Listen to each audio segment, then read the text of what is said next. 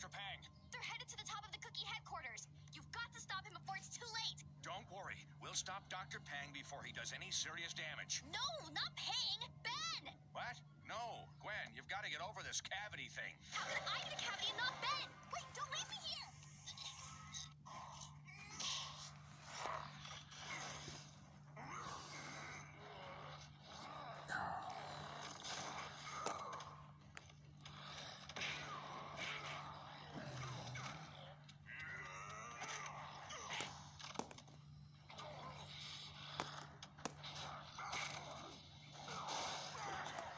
Yeah.